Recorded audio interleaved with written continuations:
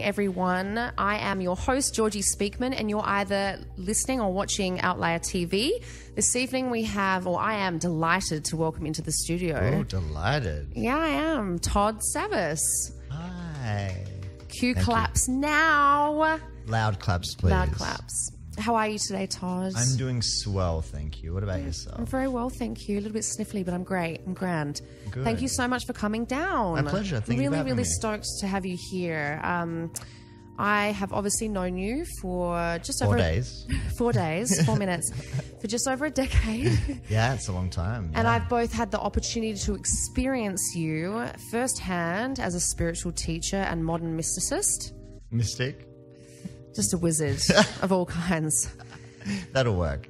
Um, and of course, I've sent and recommended people your way that have had a really, really strong and powerful experience. And so I'm so excited to have this conversation with you tonight about many, many things. Many, many. Um, and you're hailing originally from Australia, just like myself, Mm-hmm. but you've had the opportunity to explore, live, and practice in New York and London and Mm-hmm. Yeah. obviously now LA. yep.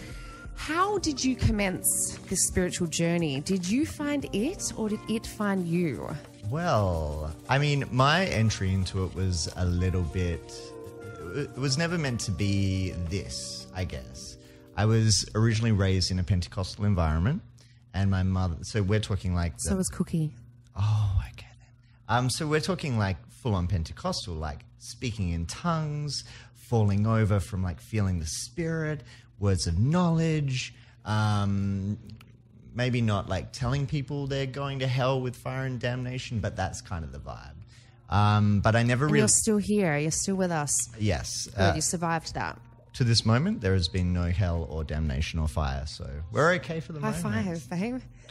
Um, so I was basically just getting this feeling that I was sort of more drawn and interested to things like Buddhism and shamanism and paganism and Taoism and pretty much anything that wasn't that sort of strict organized mm-hmm. religious dynamic.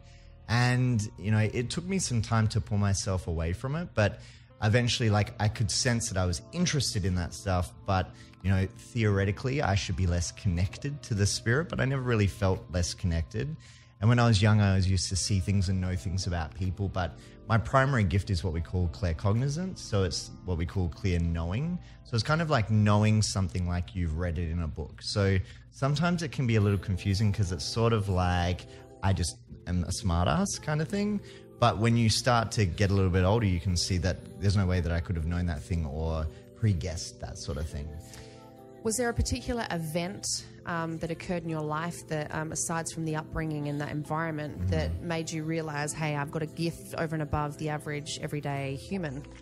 Um, it wasn't probably until I sort of pulled away from the church. I mean, when I was in the church, they used to prophesy over me that I was going to be a prophet of God and go around the world and Very prophesy. Yeah, that's it's Wow. bizarre. So there you go. You're meant to have that experience, of course. Of Absolutely. course you were, but you know, that's Yeah. quite amazing. Yeah, but I didn't really get my own sort of uh, real understandings of it until much later when I, Mm-hmm. people were coming to me when I consciously wasn't doing the Christian thing Sure. and I was more so doing the spiritual thing. And I could sense the healing in you.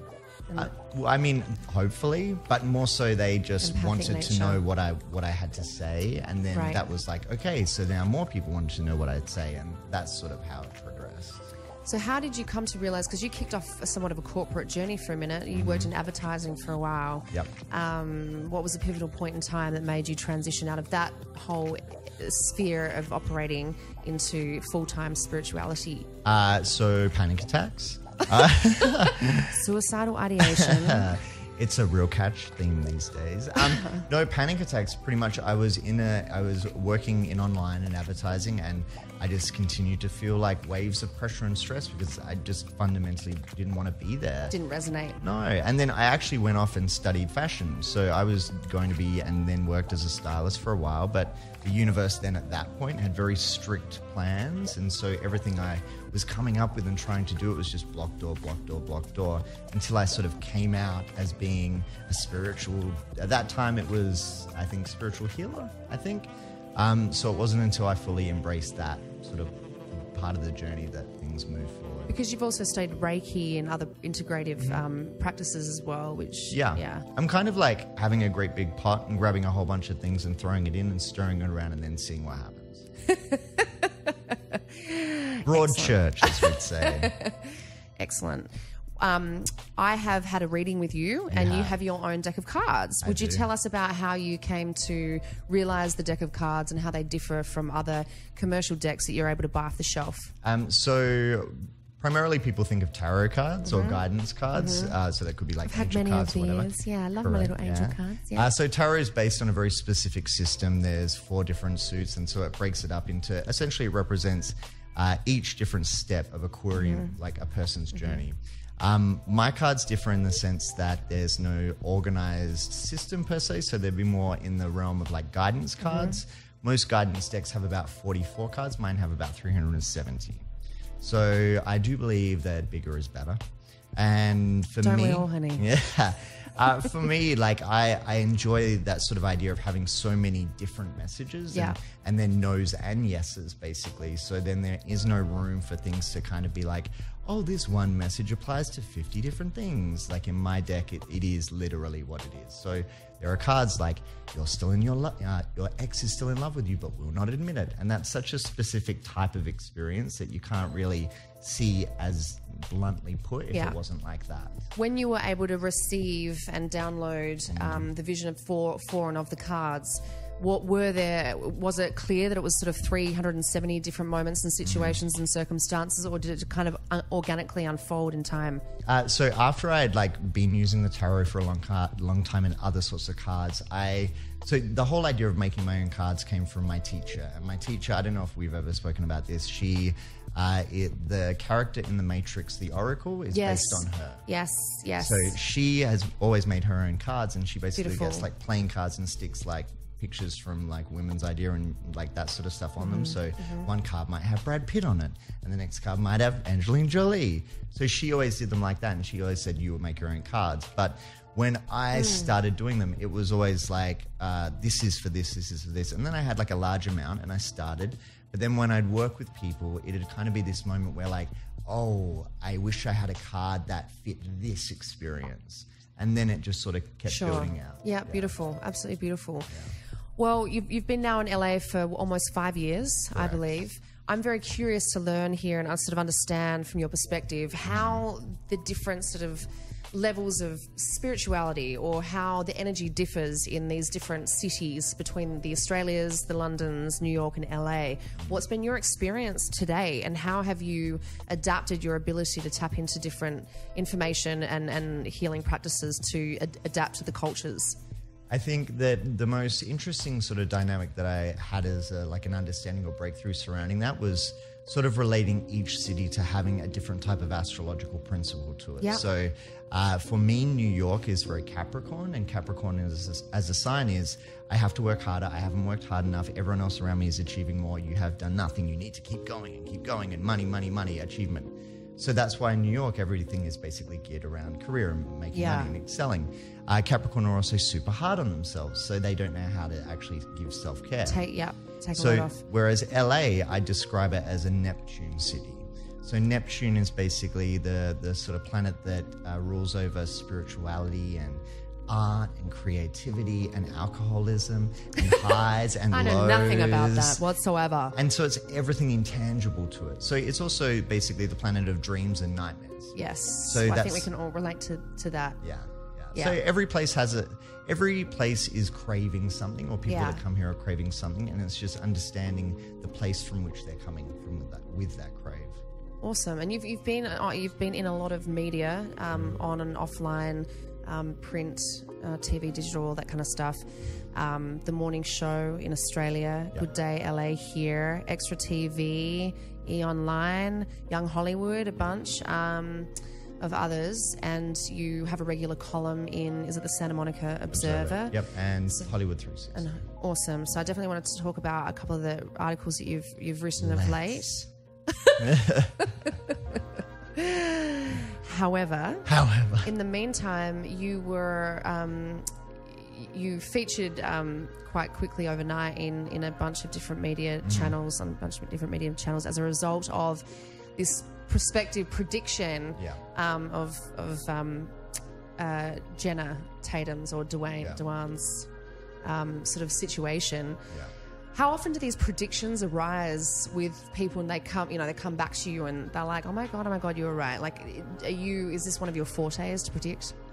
Um, so I have a little bit of a. Are you a an- predictionist? Are you just making up words? Huh? Yes. we call it a precog. uh, um, so I can definitely predict. Um, I have a, I, I play an interesting game with that as a concept because it's so easy to slide into ego with that, and so as I don't like to talk about that particular like I do this all the time because then it's like oh yeah I know the future all the time when Right. in reality I only know what I get told. Okay. So my teacher always used to say to me, "We are never meant to be right. What we're meant to be is basically say what I have to tell you, because from that we know what your action is going to be, which is going to be the thing you need to do. Mm-hmm. So whatever that dynamic is, that's sort of where I come at it. I just sort of say whatever I get told by the universe Mm-hmm. and trust that that's going to be the thing that pushes you in whichever direction is necessary. Awesome. Okay. Yeah, I had a really interesting experience recently with um, Riz, who's like a channel Yep. uh, psychic healer, all that kind of stuff, and uh, his sessions were incredible. You know, people, people had people in tears and all that kind of stuff. Um, and his his uh, insights, he was channeling Red Eagle at the time, and I found his insights to be like brutally accurate. It was quite crazy, and they were all really positive. So thank praise the Lord for that. Um, but he was also able to get insights um, from you know, channel different entities and energies and things like that.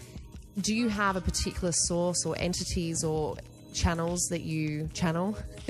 Um, so some people really like to define through specific identity like that.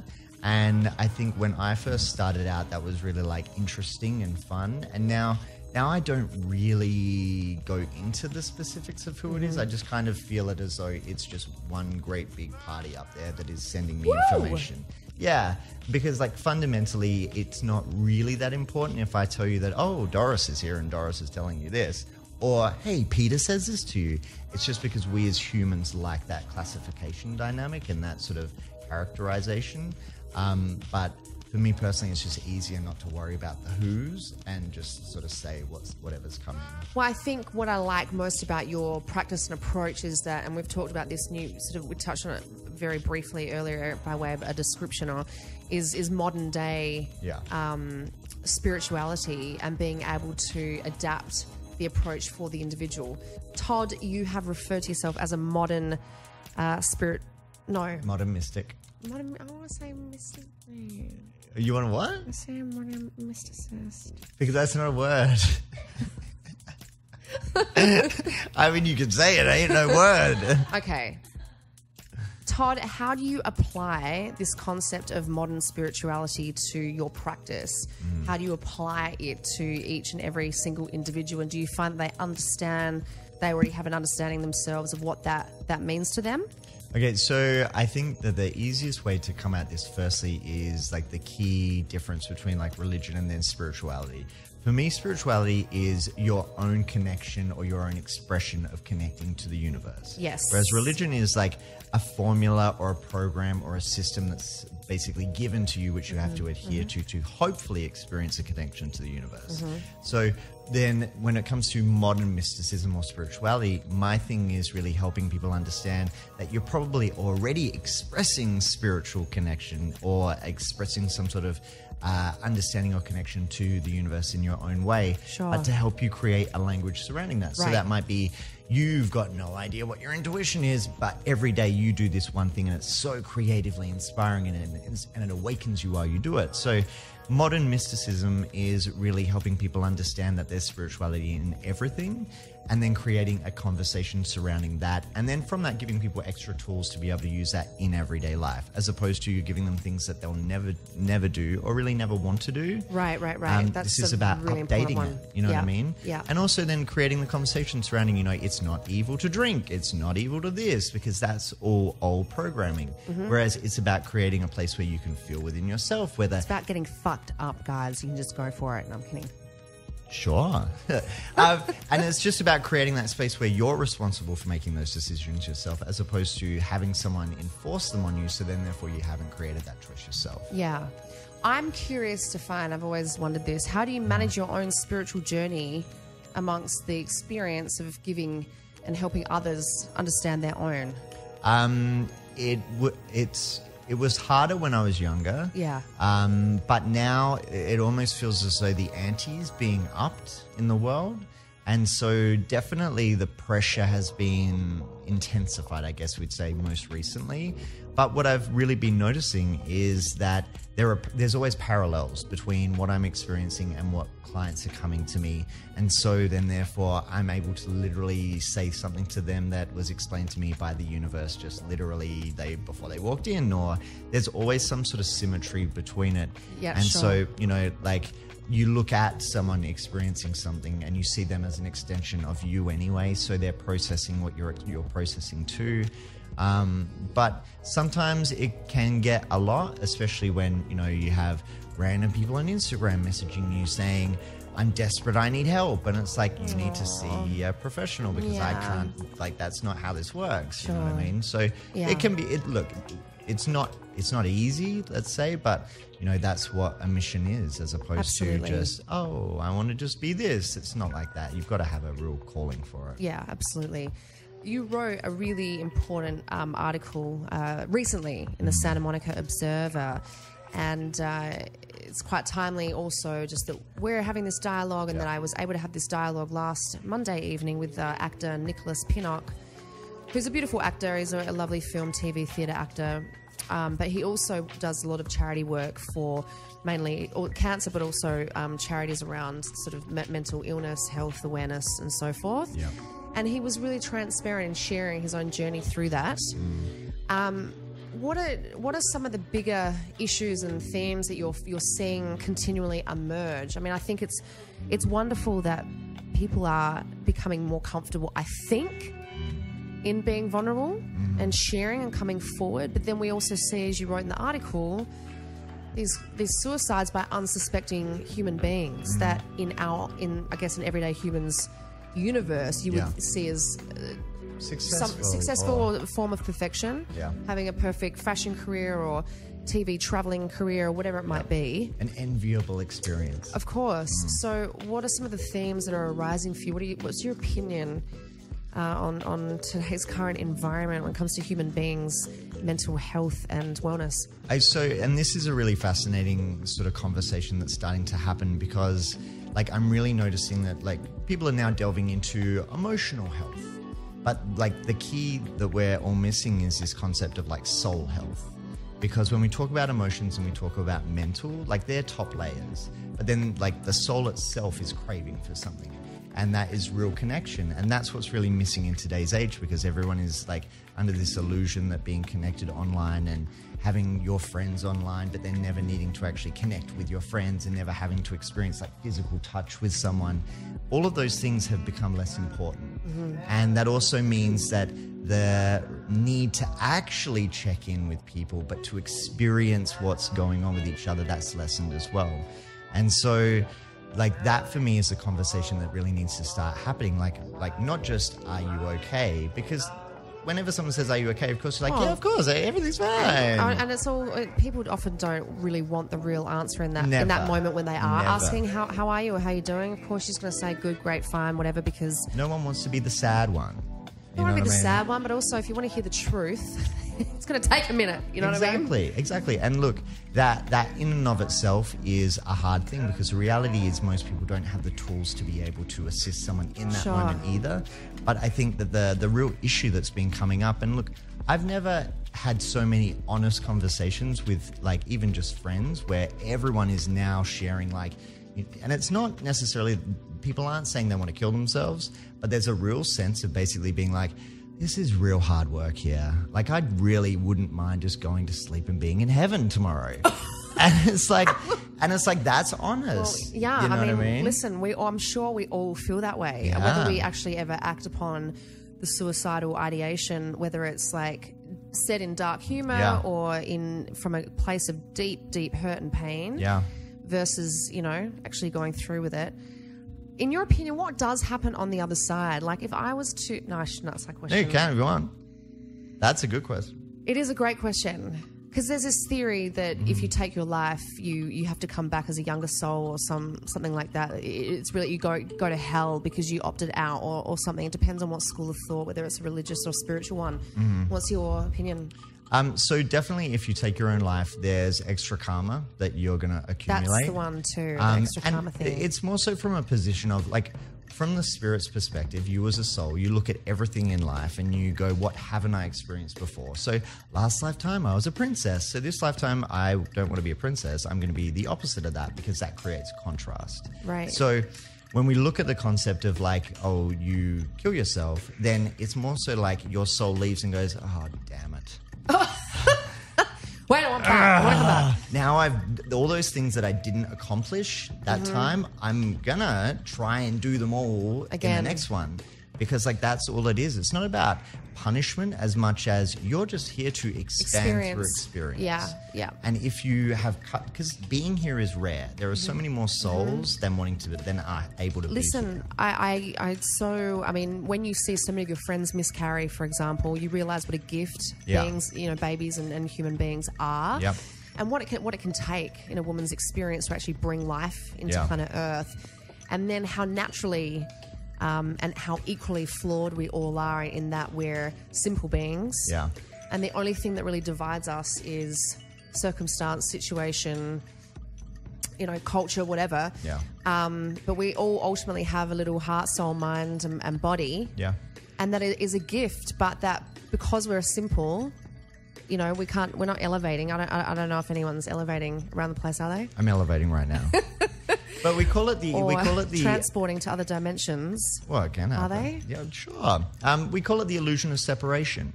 So basically, when we're in spirit, we're experiencing a dynamic where we there is no separation. Yeah. We feel everyone. We do. and then we come tactile. here, and immediately the first thing we sense is disconnection. So we sense loneliness, not from each other, but of course that's there, but it's loneliness from what was up there, which was just constant connection. That's so really the human journey then is to learn how to reconnect with. That's spirit. what it is. Yeah. Okay, so how do we do that? Well, it's uh, easy four step process. No, like the, the reality is, is Buy my ten thousand dollar four step program, and Um, this is just an infomercial, guys. Yeah, uh, one eight hundred Todd Savvas. Um, so it's what it really comes down to is like basically disassembling all of the human stories that keep you in between expressing true connection. Yeah. and so that's like you know fears in whichever flavor they come in.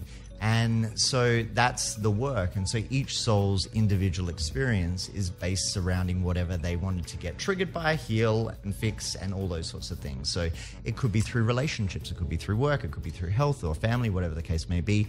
But it's that journey of disassembling the illusion of those things to discover that, oh, I actually am connected, and I am connected if I only just stop focusing on the lies that are yes, going on yes. in the head. That resonates a lot with me. I can relate to that, and I think a lot of human beings can. If you actually Yeah. just put it to them so pragmatically, and that's another strength that you have is, uh, in my experience of you, um, when you're practicing, is that you, you you break things down in a really simple way for us simple humans to understand. Well, thank you. I'm, well, it's not just simple. It's anyone, you know what I mean? Like, it's easy to overcomplicate things because that way it makes it seem like we're so knowledgeable.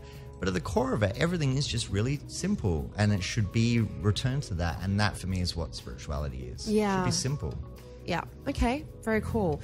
So we live here in Los Angeles. We do. Mm-hmm. Tinseltown, Hollywood, um, first or second largest entertainment capital in the world, Yeah. outside of you know Mumbai or maybe Goa or somewhere else these days, and maybe the Middle East. No, I'm making that up. God knows where else. Um, but yeah, we're Fact essentially check. the where Fact check. Fact check. Fact check. Oh, fact check. Uh, there's a journalist, a researcher around here somewhere. Carla Cookie, Mirsha. Um, Cookies on it. but it, it's such an all-consuming town. We, you, you, sort of likened Los Angeles, or rather the energy here, to be a Neptune-like Yeah. energy or place, Yeah. where there's this dichotomous nature of, of good and bad, dark and light, Mm-hmm. and all that kind of stuff. So where your dreams can come to fruition here, everyone can also experience some really dark times nightmares. here and their Yeah. nightmares, right? What is is spirituality and how does it how is it amplified? A lot of people give Los Angeles shit, you know, mm. for Um, you got people that talk about it positively and say it really is a city of angels because you can be anyone you want to be here. You can evolve and recreate and, mm. and all that kind of stuff without judgment. Mm. But on the flip side, there's just so much shit here, so much falsity and narcissism and, and all those kinds of things. Arrogance, ego. Yeah, all those mm. beautiful, fun things. Mm-hmm. Um, how how does that differ in terms of having to educate or the types of humans you encounter, all that mm. kind of stuff? So I think if we sort of look at the sort of dynamics between New York and here, it's the easiest because they're so opposite in and of themselves. When it comes to New York, people are needing to come back to how to truly self care, almost to listen what their heart really needs. In LA, it's a little bit of a different dynamic because this is where people have had to buy into their deepest illusions to follow their quote unquote dreams. Some may be real, destined, and led, and others might be just this sort of guise of ego masking itself as there's something special and unique about you, which there may well be.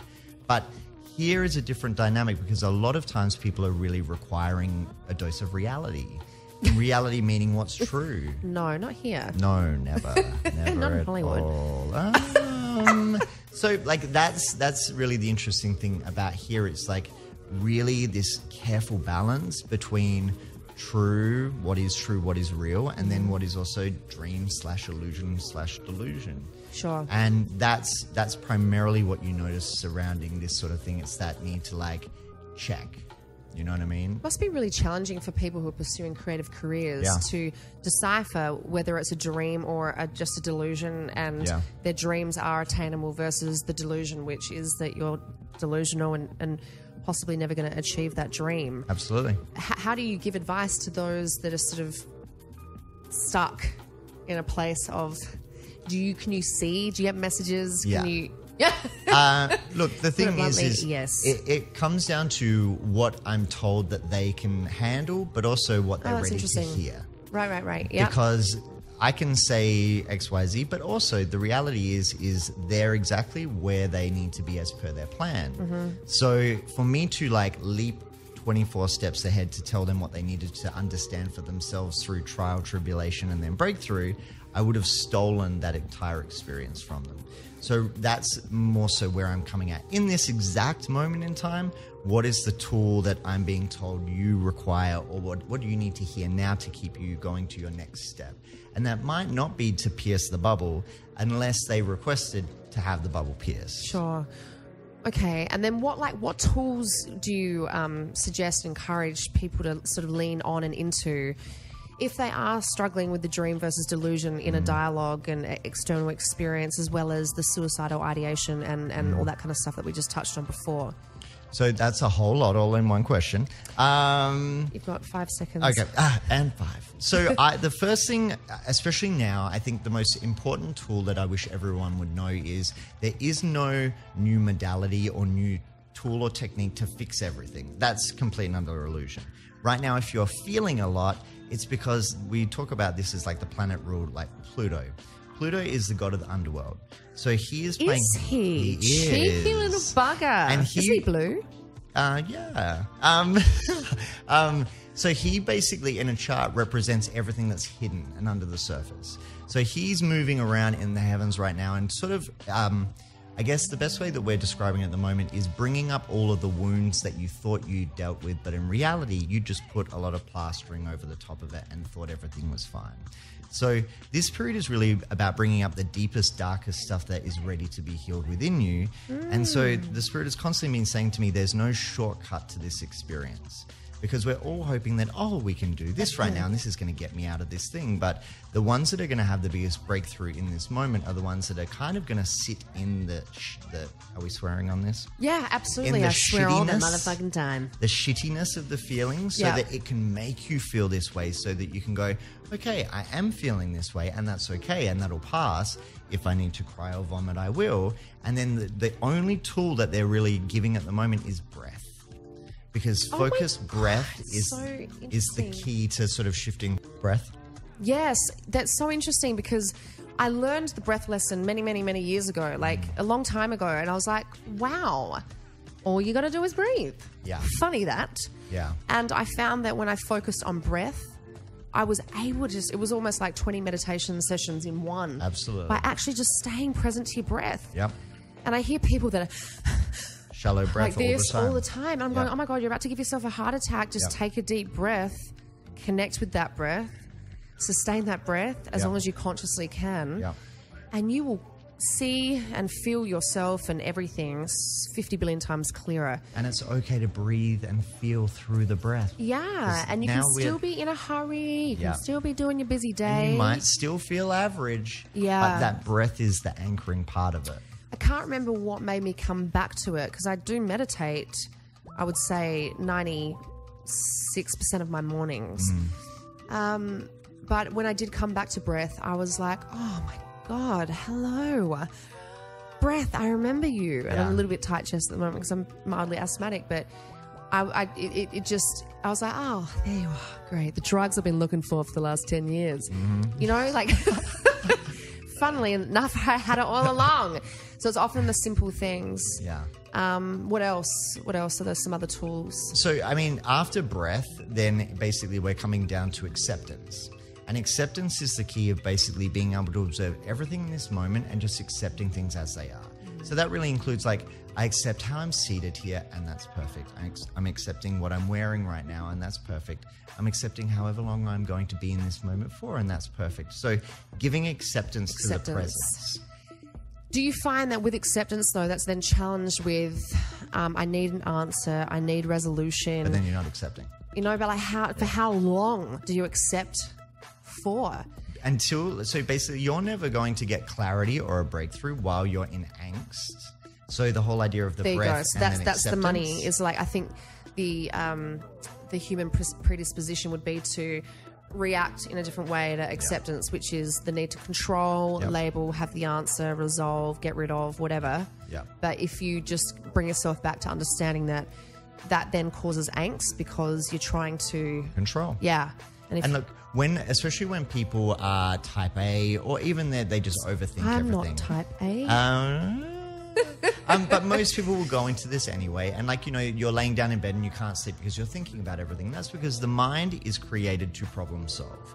But the reality is, things that are going on in your, in your life, if you could find the solution to all of them, you already would have. Right. So the mind needs to know that you don't need it to keep searching for those things. Yeah. And you'll discover them when you're naturally meant to. Right. But in the meantime, that capacity to just accept where you are in this moment helps your mind to sort of go, oh, okay, you don't need me to Sure. work out everything. Yeah. So, No, it's funny. I had a, a little download myself on Catalina Island uh, Uh-huh. about 18 months ago. And it was just so incredible because I could just see humanity and human beings so clearly. Like, oh, oh my God, we are meant to be flawed. We're here for this tactile human experience. In other Human. words, we're supposed to be human. we're meant We're to fall s- over, we're meant to cry, we're meant to. Yeah, we're not meant to be. Um, Infallible. what's perfect, nirvana when you're evol- Enlightened. We're not meant to necessarily be here. We're not meant to achieve enlightenment. That's not what, he- what No, we're here I mean for. that's that's the idealistic goal, but in and of itself, that can be a game as well. and sure, and this concept of good and bad energy, Mm-hmm. um, and and the fact that we're just a con- in a constant state of this dichotomous nature of Yep. everything Yep. Within ourselves. And that reward payoff of like, if you're good, you'll reincarnate into a better life. No. That in and of itself is sort of like avoiding the whole point. It feels threatening. Yeah. Now I have to like not stay all night and, and dance to whatever hour, or not drink, or not swear, or not like whatever. And, but true spirituality would say if it's true within you and you're not hurting someone else, then that's an expression of what's real for you. Hmm. Very interesting. Okay, and so then what are some of the other themes of the rest of the year that we should be consciously aware of for 2018 and, and perhaps things we can look forward to in 2019? Okay, so when we're so I look at the year as a theme by looking at the Chinese horoscope. Sure. So this year we're in the year of the dog, and when I was sort of tuning into this and doing the cookie, it's your year. Um, I was tuning into the sort of feeling of this year, and I kept getting the words rabid dog. Ooh. Yeah. Oh my God, I have. Oh my. Okay, we need to talk about this Okay. afterwards. Um, so basically, the spirit was sort of showing me that so dog as a sign is loyal and sort of great friend and reliable and all these beautiful things. But then in like when I do readings and a dog comes up, it's always this dynamic of you need to watch out for a dog because basically, otherwise, they will turn into a rabid dog if you don't look after them. So, the theme of this year is basically like you're going to see all of the people that have been downtrodden finding their voice and turning into rabid dogs and getting their power back. This is, uh, I'm telling you, so effing weird Mm. because I can't, in recent weeks, erase this this image of this rabid dog coming Yep. towards Cookie and I. I've got no idea where it's where it's come from and what it means. But it's so funny that you've just said year of the Yeah. dog. I mean, I do have a bit of PTSD post Cookie's dog attacks. Uh-huh. He's been attacked like twice over the last month, mm-hmm. and the second time he got attacked on a hike, mm-hmm. he was squealing and screaming, crying for like mm-hmm. moments. You know, a couple of minutes afterwards, uh, he was obviously going through his own little. Tro- this is my dog, by the way, Cookie. It's a fluffy, stuffed, live. he is a real dog as well, And not an he- imaginary friend. Right. you told you told you like no no we've we've spoken about this before. He's not real. Yeah, I know. There's no one else here. No, but it's really bizarre. And I think I don't know if it's because I just keep I'm now paranoid about seeing a scary dog come around the corner because that's kind of how it happened on the hike where I thought I saw a Labrador, but it actually was an American pit bull, bulldoggy type scary dog um, that would like to eat cookie for for a snack. Um, what does that? What the fuck? Excuse my language, but what does that mean? So I actually am also getting the sense that the spirit is trying to very keenly explain this dynamic in the year for you and reflect it back on yourself. Yeah. Because this is also going to be a period for you to be able to reclaim your voice. Well, it certainly is. in in all dynamics where you've felt as hashtag, though hashtag watch this space. hashtag I'm yelling at people today. Yeah. um, so and that in and because basically those dynamics with your dog they reflect whatever's happening with you anyway. Hmm. So that's sort of the message that you're getting because it's reflecting back and it's exactly that dynamic. Hmm. So when you can shift that awareness that like there are no dogs that are going to be attacking us because my energy is stronger than all of that. But if you're sort of sliding into that fear stuff, then you're going to keep attracting it to you because Very interesting. You're going to be attracting it so that you can then rise above it. That's really interesting. Very, very, very, very interesting. I'm definitely astute for cookie every time Yeah. I like going around a corner or something like that. So I'm trying to, I'm like, where does that come from? Why am I seeing that? But I'm going to try and shift that now Yeah. that I'm aware of what the symbolism is behind Yep. that sort of like lesson vision, Yep. etc. Because dogs are, or animals in general are an extension of our own animus and what's happening within us as well. So, how he is behaving and feeling is going to be in part connected to your lesson and dynamic as well. Oh, well, thank Christ you're perfect, Cookie. so, what advice would you have for those aspiring to a career similar to yourself? Um, how, how do they get started? How do they tap into their intuition? Inner intuition. Okay, so I'm really of an old school style when it comes to this stuff, and now sort of spirituality is becoming real faddish. And I would never recommend like suddenly deciding to want to embark on this career unless you really feel a calling for it. Right. because course. like it's not a job where there's necessarily any payoff. It, it, it could, but like the the dynamics Or depends what the payoff is to exactly you, what that but means to that- you. Like now, people are looking for very specific payoffs. Unfortunately, like fame, money, adulation, this, this, and that. In the olden days, to be a spiritual teacher would be to live in a cave. People may come and see you and maybe bring you a fruit, and then ask for your advice. Hello, I So- can bring you fruit. yeah. So, like, I think that firstly, it's different in other careers in the sense that it really has to be a full heart calling. Yeah. That would be the most important thing.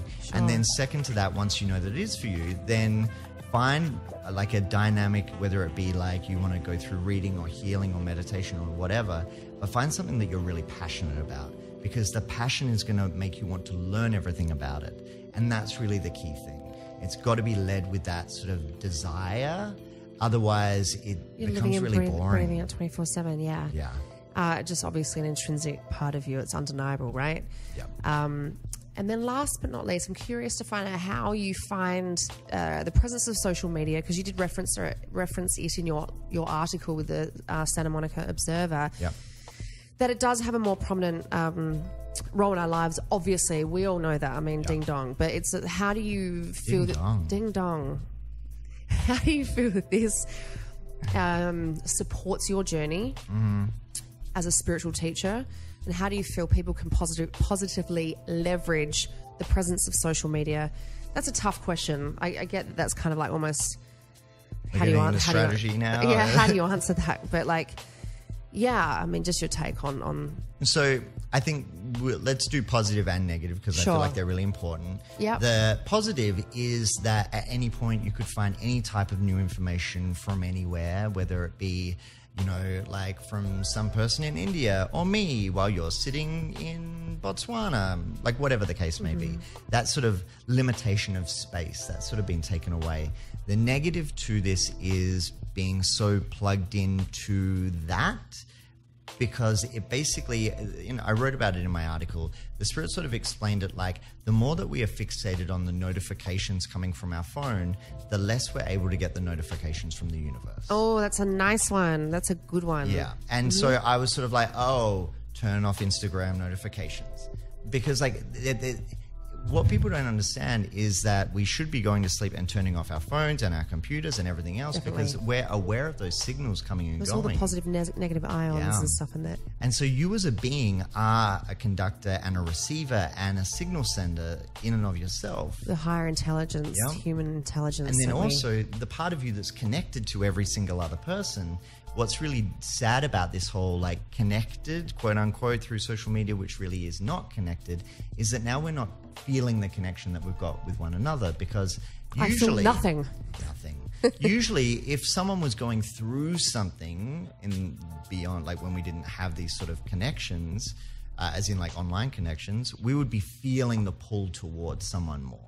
Yeah. But now, because we're more concerned with, oh, did I get a message? Oh, no one's messaged me. Oh, whatever the case may be, that trains our body to sort of um, be addicted, by the way. prioritize those. Pri- prioritize, but also be addicted. That's why. Absolutely. Yeah, I had a little staycation just this past weekend, and it was delicious and divine. Like having my phone on silent all weekend, Mm-hmm. leaving it back in the hotel room or in my bag, not looking at it for hours on Yeah. end. You can feel the difference. Just being. So, do you do digital detoxes, and and do you you know recommend doing that? Um, well, so I post a message every single day online. Where can um, people find your messages? at Todd Savvas, T O D D S A V V A S. T O D D S A V V A S. Yeah. Um. So, like, I would love to, but like, the people that, thankfully, I can help people through those messages, and people say this has been so helpful for me. So, until like I have someone that can handle all of that stuff for me, and I don't even need to worry about putting that online, then I can't kind of just suddenly stop giving these messages because, like, that's you know part of what I'm asked to do. Yeah. Um, but definitely, I've noticed such a big difference by just limiting what's what is on my phone, um, like things that aren't really necessary. And like I said, turning off Instagram notifications so that I'm not just bombarded with stuff. Instead, I have to consciously go, okay, now I'm going to engage with that, and sort of just not needing to check, not needing to be looking at it, not needing to do any of that sort of stuff, and. That's the only way to start detoxing all the extra stuff that's in the Sure. head. Yeah. You've also done, um, and you're a great feng shui practitioner. Can I Oh, call you that? Yeah. Um, what are some little hot tips for around the house, um, in Uh, addition to what you just shared, that are great for an everyday person in their little home? Well, I mean, it's, so basically with Feng Shui, you actually look at the individual animal sign, and that Oh, then wow. determines, and it changes every year. Okay. So universally, I mean, like it really depends on what's happening. Um, but uh, my recommendations of crystals that everyone should have, uh, citrine. So citrine is a sort of um, goldy sort of one. They call it the merchant stone. What's good about it is that it can never hold a negative charge. So if it's exposed to negative energy, it automatically turns that energy to positive. so it's great for attracting it. wealth, yeah, and it also just Oh, uplifting Jesus. I need to fill my whole goddamn house with that one. Yeah, uh, and black onyx, if you're feeling emotional or overwhelmed, it will protect you and keep you sort of guarded against extra stuff. Um, and then a good old amethyst. Amethyst is one of the most uh, sort of spiritually aligned ones. So by holding onto it and just meditating or focusing on what you're wanting to sort of clarify with your own energy, that'll uplift that as well. Awesome. Well, thank you. They're incredible hot tips. As always, an incredible conversation with you, Todd. Thank you, Georgii. And we, everyone can find you on Twitter, Instagram, Facebook, anywhere Yeah. else. uh, uh, yeah, that's all. That's pretty it. much. Yeah. yeah. Is there anything else yet? Who knows? And Todd's uh, situated in, in the West Hollywood area. yep. So if you do want to book an appointment or learn more about him, you can also visit your website, right? Yep. Which is just toddsavvas.com. Perfect. And you can find him there to book appointments. So thank you so much for listening and or watching Outlier TV. I'm your host, Georgii Speakman, Todd Savvas. Thank you. And we'll see you again next week.